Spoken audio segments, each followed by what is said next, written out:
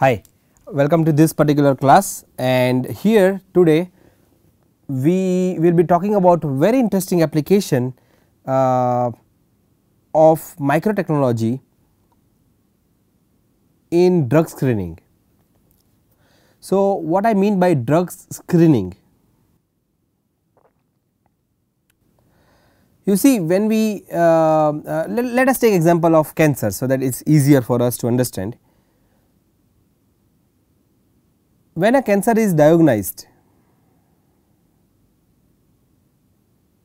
the patient has to go through chemotherapy right we know in general patient are given chemotherapy. Now, if there are 5 or 3 FDA approved drugs, 3 approved drugs that can be administered to a patient which drug to pick from? Do we have any technology or can we propose a technology? So, my question is that for a patient X out of 3 drugs let us say A, B, C drug A would be effective or B would be effective or C would be effective. Same thing if there is a next patient, patient Y, out of 3 drugs A, B, C, which one would be effective? So, the question here arises is that we need or do we have do we have a patient centric platform that you take the sample of the cells or from the tumor of the patient, load that sample into the device, test these 3 drugs and tell which drug would be effective for that particular patient.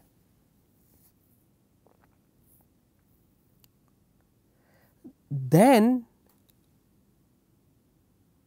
the the recovery of the patient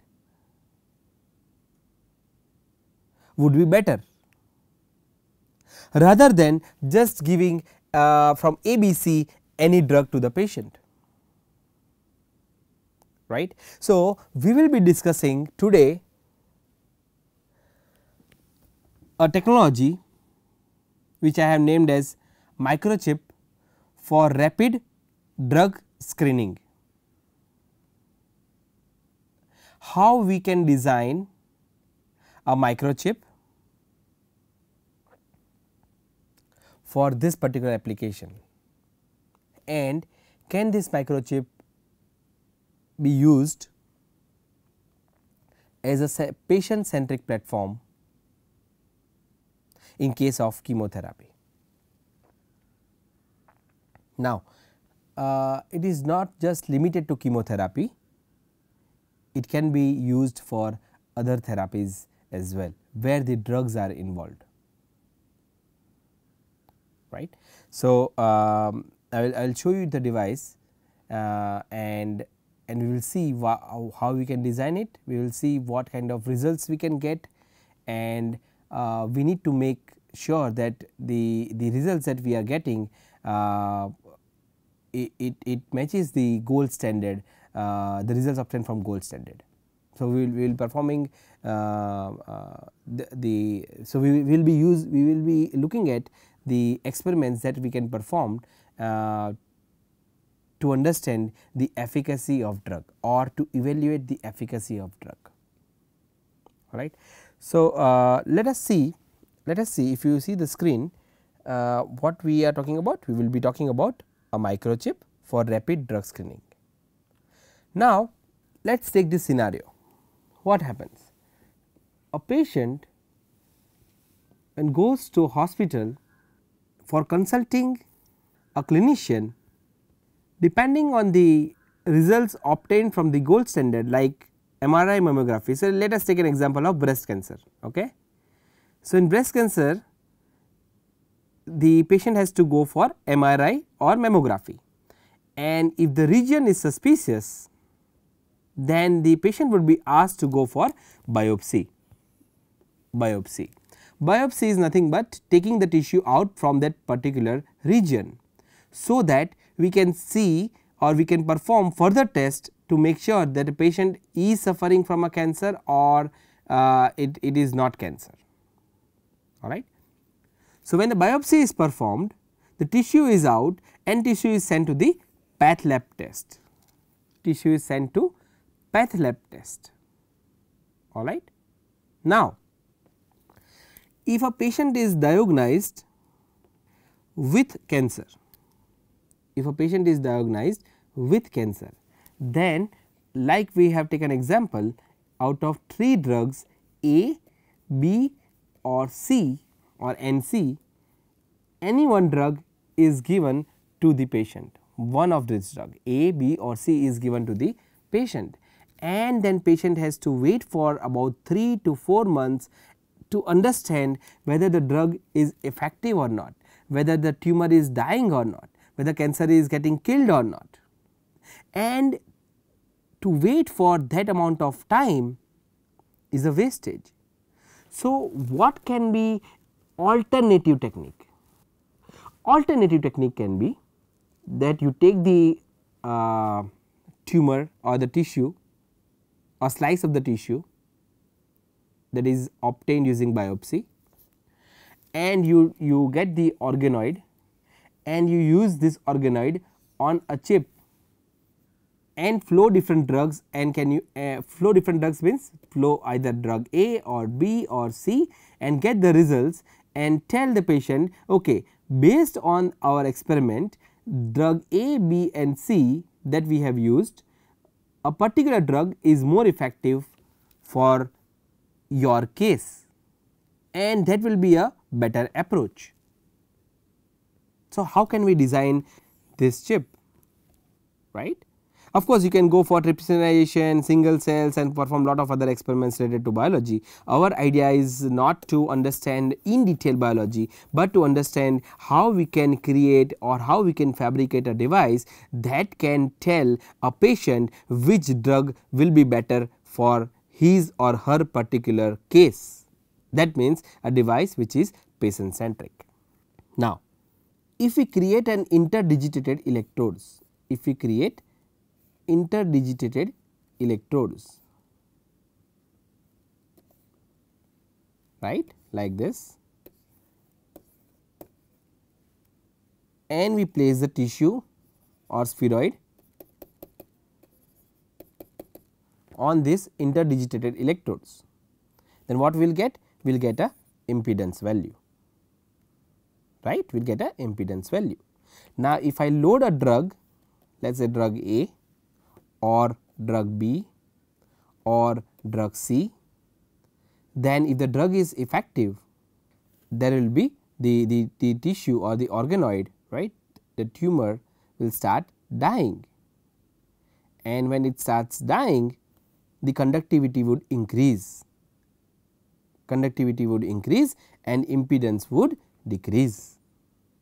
This is one way of doing it. This is one way of testing drugs A, B or C. Now, the difficulty with this is that the drug is in continuous contact with the tumor. This is a static platform. Let us say if I say drug with dotted points like this, right. The drug is shown by this kind of dotted points in this particular device. What we see is the drug is in continuous contact with the spheroids. But our body is not static this is sorry this is a static platform our body is not static our body is dynamic. Thus, a static platform to understand the efficacy of drug to understand the performance of drug is not a solution. So, what is a solution? The solution is to fabricate or to design and fabricate a microfluidic platform. Because in microfluidic platform we can we can mimic the in vivo situation. And that will be a dynamic platform similar to our body. Right. But the concept we got is that if we load the drug on the interdigitated electrodes with tumor then we can see uh, the change in impedance that means we can use impedance as a, a, a modality or electrical property uh, to understand whether drug is effective or not. So, electrical property of tissue which is our impedance can be used to understand which drug is effective. Like I said if a drug is effective the tissue will die the tumor will die, the cells will die and thus there is a increase in conductivity and decrease in impedance. Thus impedance can be used as a marker to understand which drug is effective or not. But the problem here was that we are using a static platform. So now let us see how can we create a dynamic platform and how a dynamic platform will look like right. So, I have a chip right in my hand and I will show it to you. And this chip we are looking at uh, uh, we will be looking at uh, how to how to design this chip today. Uh, I am holding this chip in my hand. This is the microfluidic chip. It is just a microfluidic chip. Uh, uh, and it has a micro heater, it has an interdigitated electrodes and it has a channel made out of PDMS so, we will be looking at how we can create this chip that can be used to understand or can be used to uh, rapidly uh, screen different drugs. And as you can see there are a lot of lot of contacts here. These contacts are for the uh, uh electrodes. And if you see the another two contacts at the bottom right? You can see another two contacts at the bottom. Then this contacts here right here this one these are for heater. This contacts are for this contacts are for the electrodes right? This one and 2 this contact are for heaters. Now you can see further that there are lot of holes right? Uh, there is a long channel here. You can see very long channel here. 1 2 3 4 5 6 7 8 and there are shorter channels next to long channels. Uh, right? You can see here there is a shorter channel here to here. One next one here to here then here to here. So, there are long channels and there are short channels. On the back side uh, so in the front side only there is a heater as you cannot see through the PDMS I am showing it to you from the back side uh, here is a heater you can very clearly see there is a heater and there there are interdigitated electrodes. So, how can we fabricate such a sensor how can we fabricate such a microfluidic chip right for rapid drug screening alright. So, let us see uh, the screen if you see the screen what we have we have at the bottom at the first step is your micro heater or a heater. Why we require heater? So, that we can achieve 37 degree centigrade for the cells to be alive right. So, we can keep cells alive if we can have 37 degree centigrade temperature. Now, which is similar temperature to the incubator, similar temperature to the incubator. Over this,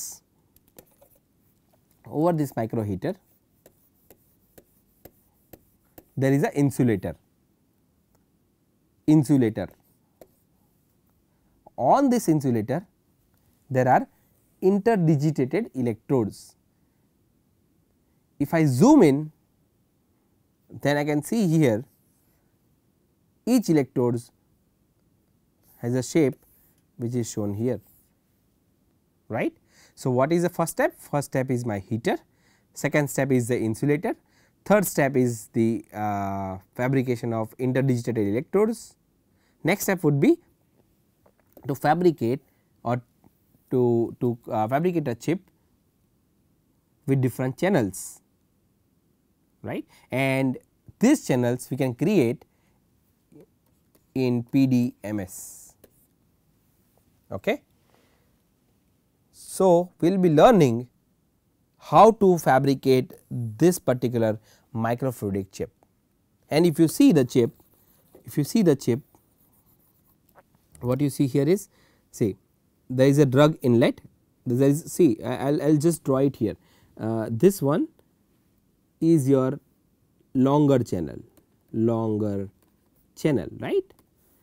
This one is your shorter channel small channel shorter channel right. So, just consider 1 hmm?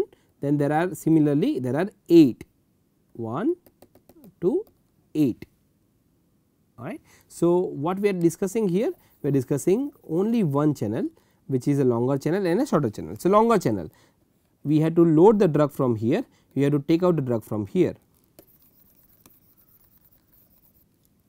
We will load the drug from one end we will take out the drug from another end. This is what it is written here drug inlets and drug outlets. Okay.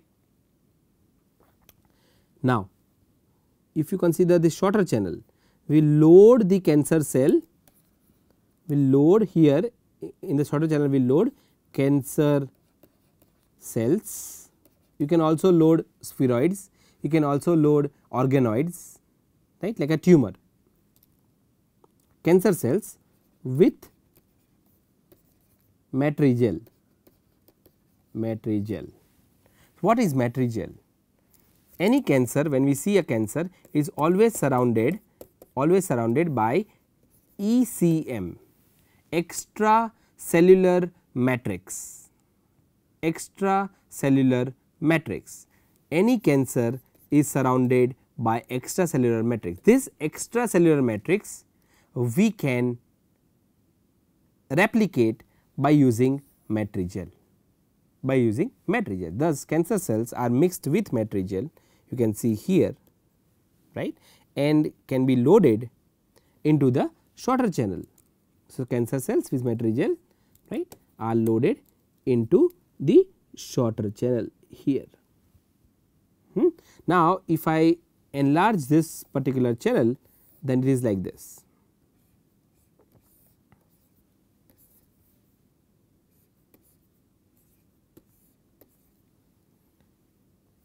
Okay and below this channel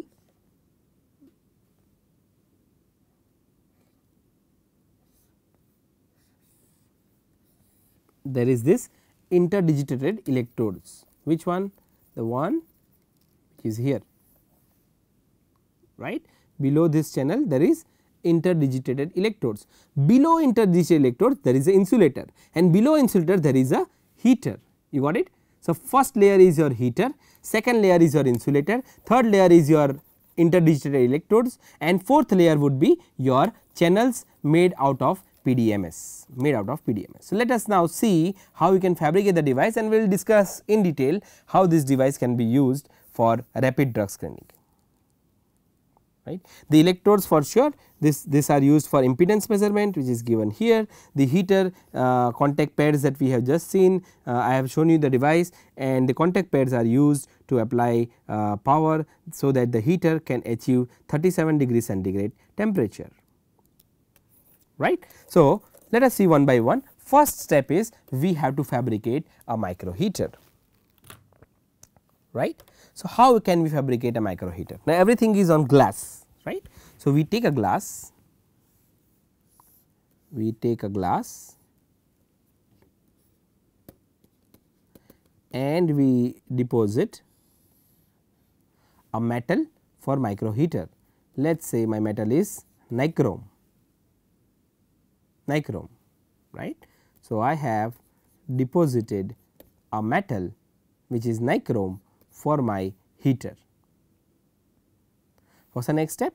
My next step would be next step would be I will I will spin coat photoresist right. You see I have spin coated photoresist which one? Positive photoresist right? This is first step. You can always say that I take a glass the glass substrate. I can consider this as first step to take a glass substrate right? And make it ready by cleaning it for the fabrication. Second step can be depositing nichrome for heater. Third step can be positive photoresist spin coating positive photoresist on the uh, metal coated glass. Next step, next step after positive photoresist, this is photoresist, this is my nichrome and this is my glass right. Next step which is my fourth step, fourth step would be to load the mask right. I have to load the mask so that I can perform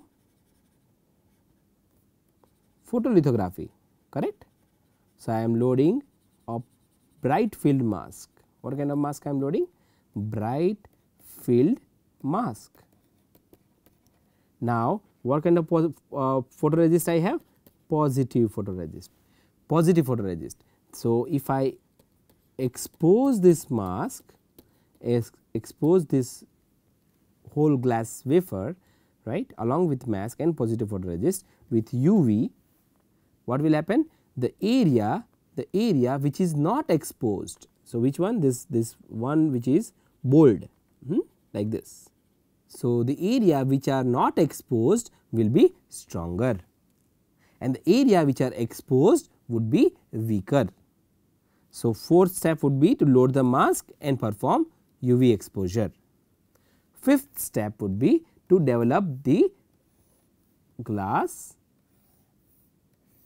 develop, develop the photoresist, develop the photoresist and when we want to develop the photoresist what we get?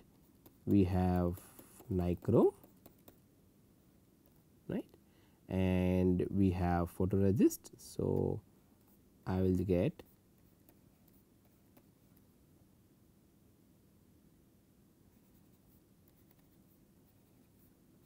this kind of pattern correct. What is next step? Next step would be to etch no. Are we missing something? You see after uh, positive photoresist what is an, what is the step? soft bake right soft bake then UV exposure. After UV exposure photoresist developer. When you perform photoresist developer then photoresist will get developed this is your photoresist this is your nichrome this is your glass. Right.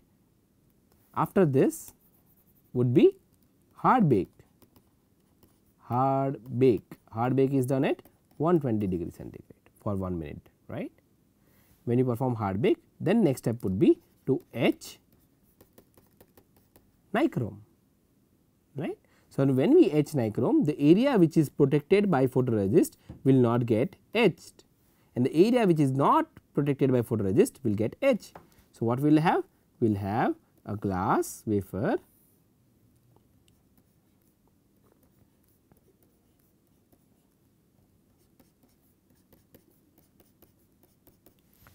with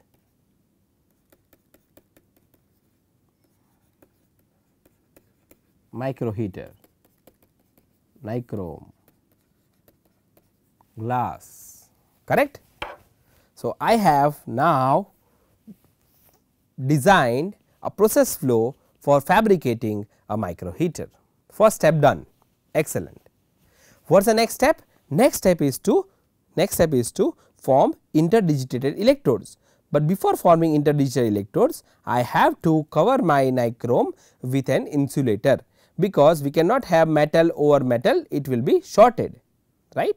So, before I go for interdigital electrodes what I have? I have a glass wafer with micro heater with micro heater right is what I have. My next step would be I will I will grow I will grow silicon dioxide onto this micro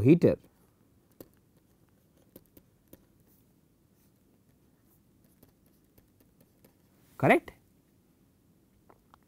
and I will perform photolithography to remove the silicon dioxide from the contact pads. You see you do not want you do not want uh, silicon dioxide on the contact pads right you do not need it because otherwise if there is silicon dioxide on contact pad you cannot apply any voltage it is an insulator. So, you have to perform photolithography such that the silicon dioxide from the contact pad is removed is etched. Okay. So, now I am hoping that you know how to perform photolithography. So, I am just skipping that step what I am doing is I have taken a glass with micro heater on that micro heater we have grown silicon dioxide and then you perform photolithography such that the silicon dioxide from the contact area of the micro heater is etched. Here the silicon dioxide should be etched. Hmm. So, if I now see a wafer right if I now see the wafer how it will look like you see it will look like this. Assume that this is a thick uh, everywhere there is a silicon dioxide right everywhere there is silicon dioxide except except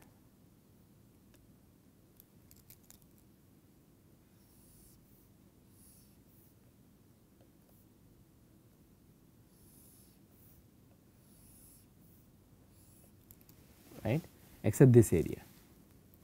Or in another way if I want to draw I will just draw like this. So, you can understand right? Assume that everywhere it is silicon dioxide everywhere silicon dioxide is there alright everywhere silicon dioxide is there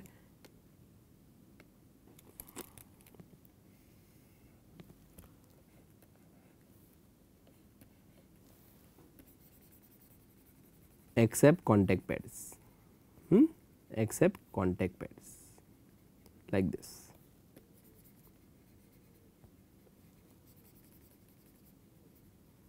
right everywhere there is silicon dioxide.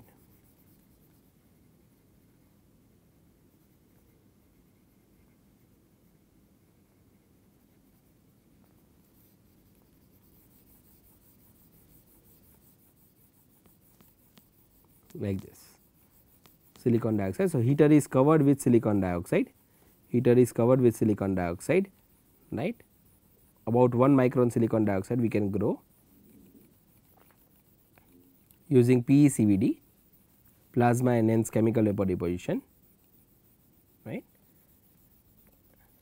What you can see only heater the silicon dioxide from heater contacts contact pads of the heater is out. Hmm. So, once you do this once you once you deposit or you grow silicon dioxide and you perform photolithography such that the silicon dioxide is etched from the contact pad, the next step would be to next step would be to fabricate interdigitated electrodes. So, let us see how we can fabricate interdigitated electrodes. So, once I have this assuming that I have taken now the silicon dioxide I have etched silicon dioxide from the contact pads my next step would be to deposit to deposit metal for interdigitated electrodes. So, let us say I have chrome gold as an interdigitated electrodes right. How can I deposit this metal? You can deposit either by e beam or sputtering hmm? e beam or sputtering. What is the next step? My next step would be to start photolithography process right to start photolithography process. So, what is photolithography process? I have I have chrome gold right I have a insulating layer and I have a micro heater.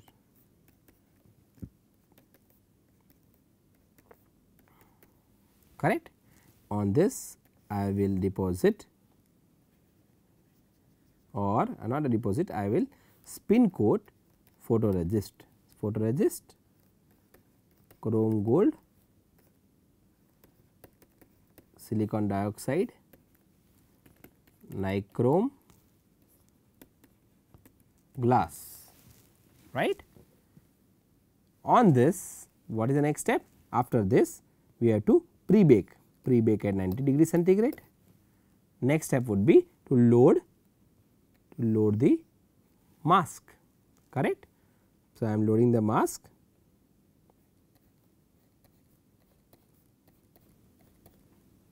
hmm? I am loading a bright field mask.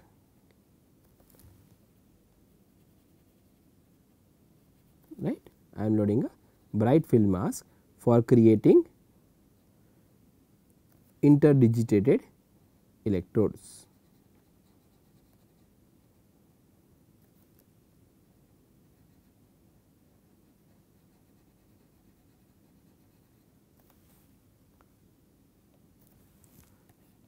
this is my bright field mask.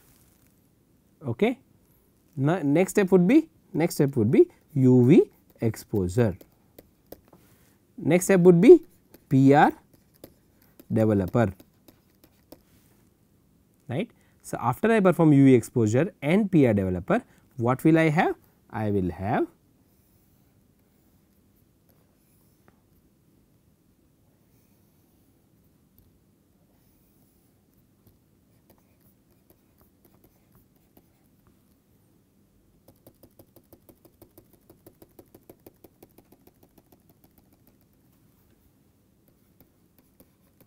chrome gold, silicon dioxide, glass, nichrome and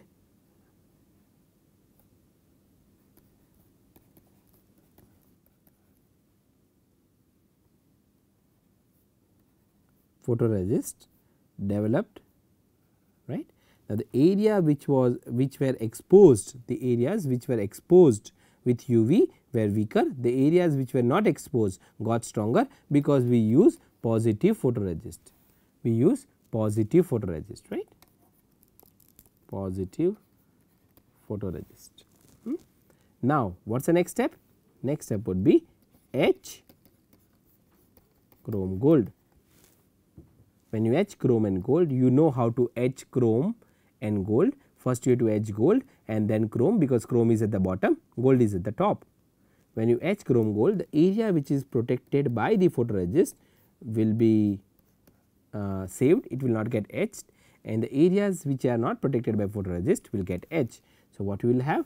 You will have a wafer, a glass substrate, right, a glass substrate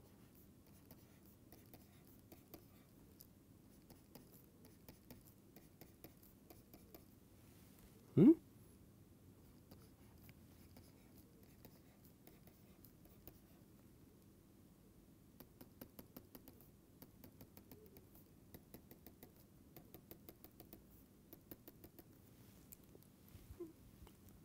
with interdigitated electrodes at the top, SiO2 next to it, at the bottom there is a heater and the substrate is your glass. You got it? This is what you got. Now, what you have a heater at the bottom, insulator in between your electrodes and the heater. Good. What is the next step? Next step is we have to we have to create channels, right? We have to create channels. This is super easy, super easy. Okay, there are two ways. I will show you one way today and then sometime in the next uh, uh, modules I will show you the another way of creating these channels right. Today we will be learning uh, the creation of these channels by using a mold that is fabricated uh, using SU8 okay. and then next time we will see how we can create a mold to create this channel using DRI that is by etching silicon itself. So, let us see how we can fabricate uh, uh, this particular channels and how we can use the mold. So, for that you have to take silicon, silicon oxidized silicon right that is oxidized silicon.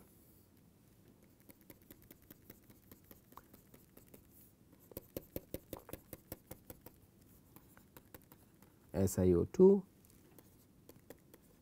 SiO2. Hmm? On this you spin coat SU8. What do you do? You spin coat SU8 alright. SU8 is which kind of photoresist? SU8 is negative. It shows property similar to negative photoresist. Okay. Now, what we want to do? We have to create this channel right. After you uh, spin coat SU8, after you spin coat SU8, you have to pre-bake it. Now, for SU8 the pre-bake temperature is somewhere around 65 degree centigrade and depending on the thickness of SU8 the time also varies right. For, for positive photoresist and negative photoresist what we are discussing? We were discussing till now that the soft bake temperature or pre bake temperature is 90 degree centigrade and if you use hot plate then you can uh, heat it for or bake it for 1 minute. The post bake temperature was 120 degree centigrade again if you are using hot plate you can bake it for 1 minute. This is for positive and negative photoresist right. But for SU 8 65 degree is your soft bake. The time depends time depends on thickness of SU 8 all right. That is the first step that you have to understand.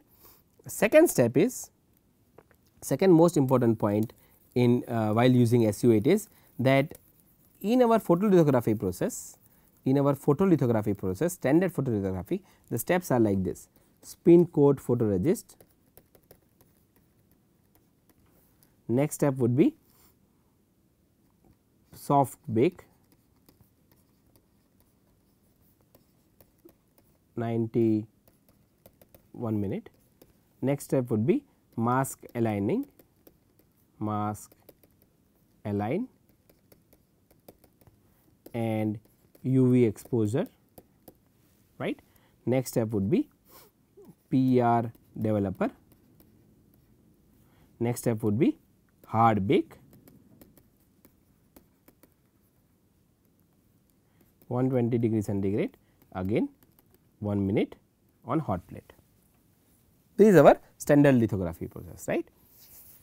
But when you want to use this for positive and negative photoresist when you want to use SU 8, SU 8 first step is PR. So, SU 8 spin coat SU 8 uh, is similar to negative photoresist, but anyway SU 8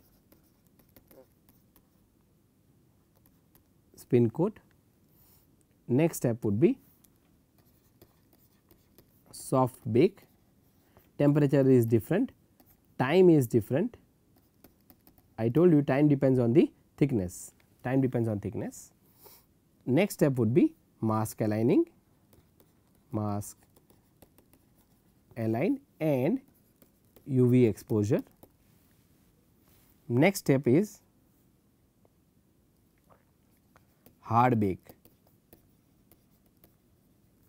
95 degree centigrade for uh, some time depends on thickness.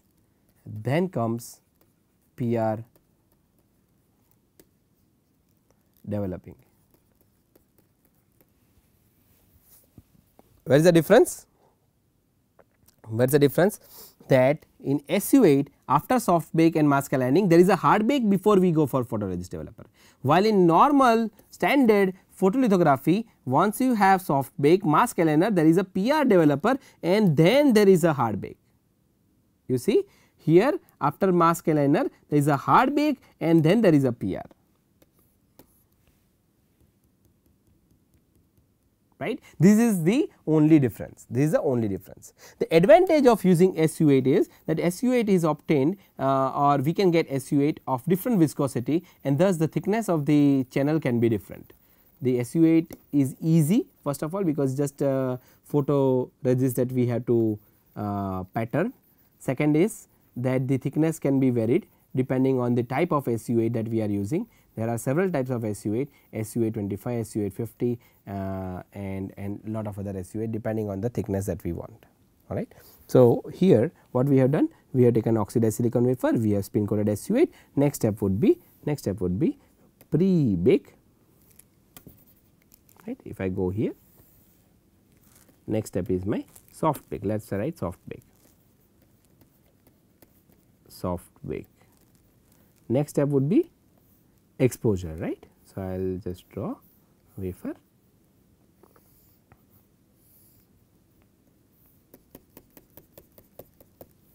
silicon dioxide. So, it is oxidized silicon wafer right on which there is a SU 8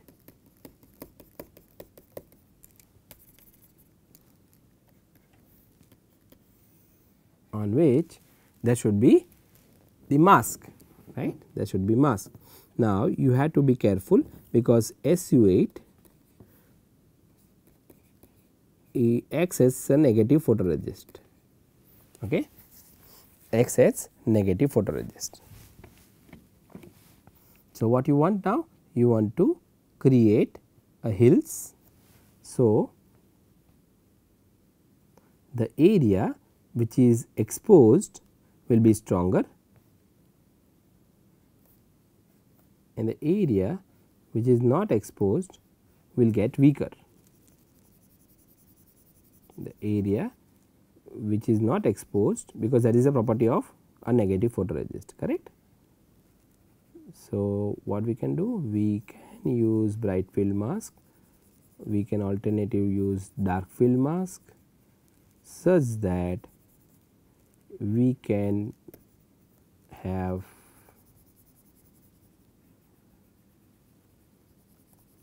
a pattern.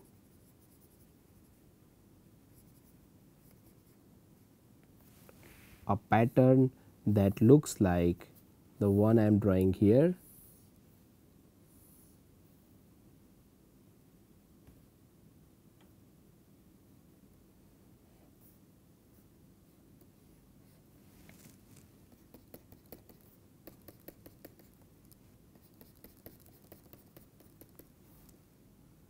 okay. And somewhere on the back side there are another pattern. So, this is a cross sectional view. So, you should understand this is SU 8 SiO2 silicon SiO2 here. So, to obtain this one we have to use mask which is shown here. After mask what is the next step? Next step would be exposure. UV exposure. When you perform UV exposure next step would be hard bake not developer okay hard bake. After hard bake which is an 95 degree centigrade for particular time depending on the thickness of SU 8 next step would be next step would be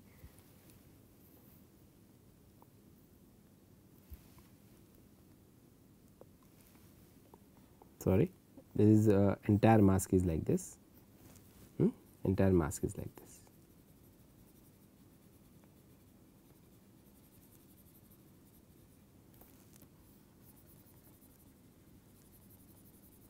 right.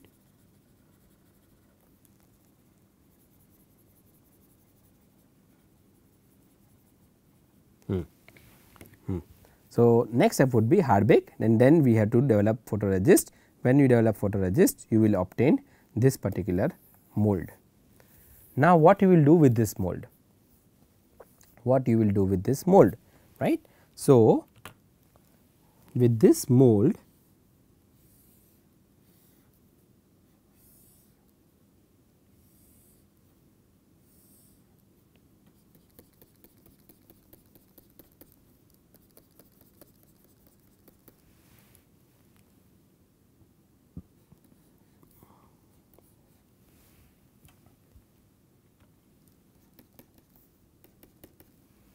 SU 8 mold. What we will do? We will pour, we will pour PDMS and cure it, pour PDMS and cure it. When you pour PDMS and cure it at 115 degree centigrade for 15 minutes, then you can peel this PDMS off if you peel the PDMS what you will get is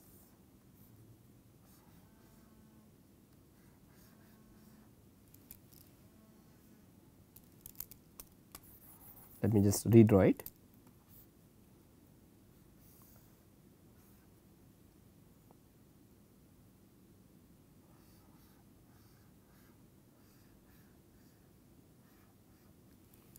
this channels right because there was SU8 this is PDMS when you when you pour the PDMS and cure it and when you peel it off you will have PDMS as shown in schematic this one. Okay. Now, what you have? you have you have a glass wafer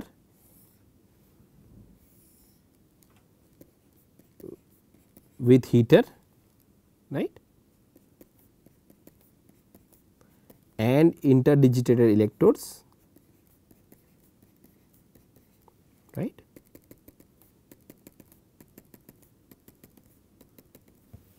And you have PDMS. So, this is 1 and this is 2 correct these two things you have. So, let me just rub this down now we know that how you can create PDMS right. So, what we have we have wafer 1 with interdigital electrodes SiO2 this is chrome gold interdigitated electrodes which are this one right. Then we have silicon dioxide, then we have micro heater which is this one right and we have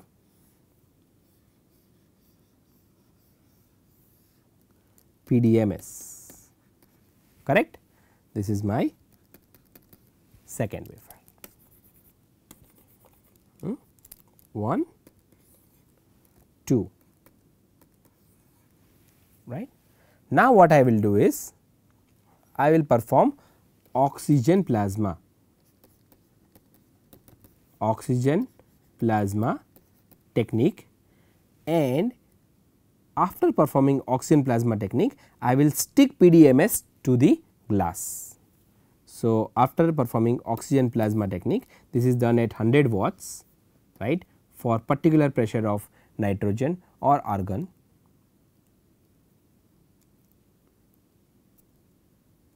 is it correct? No right.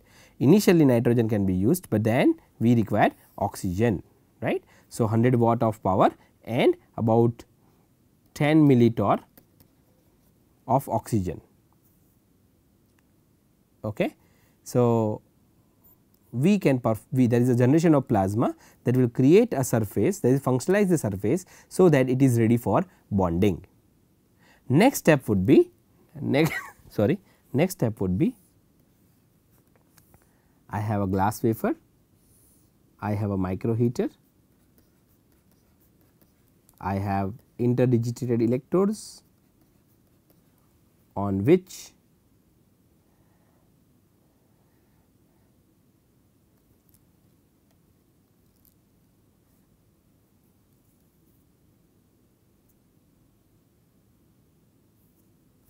I am loading this substrate right. I am loading this substrate. So, what will I have? I will have like this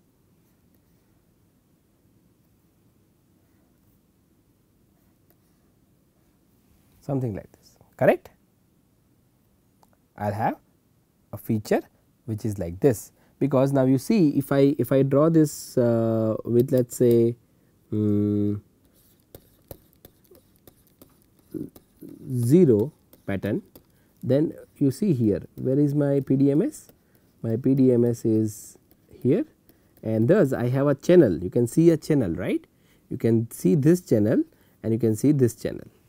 So, what I have done is I have sticked PDMS onto the glass substrate which is integrated with a micro heater and interdigital electrodes and separated by a silicon dioxide or an insulator. So, once I have this device, once I have this device, what is the use?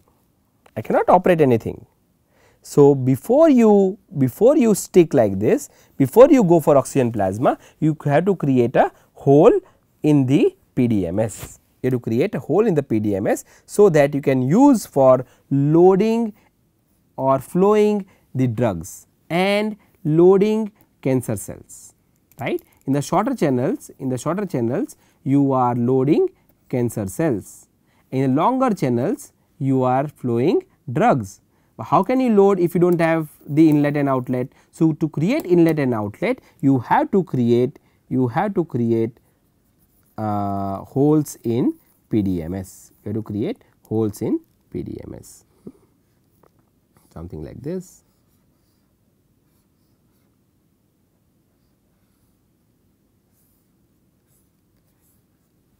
there is a hole is a hole. How can you create a hole? By using acupunch, by using a, uh, a biopsy needle you can create a hole in the PDMS. Alright. If you have this then it is easy to connect the inlet and outlet or to uh, load the drug alright.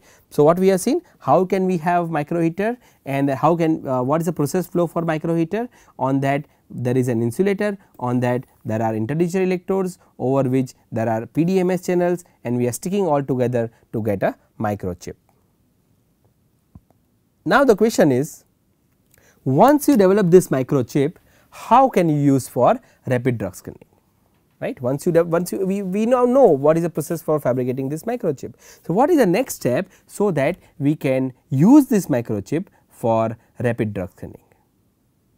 So, we will see this in the next class in the next module of this particular uh, lecture and uh, we will we will uh, see what kind of data we can generate using what kind of drugs right. So, there are different drugs different cells we, we will see the data obtained from uh, melanoma which is skin cancer from prostate cancer cells and from breast cancer cells.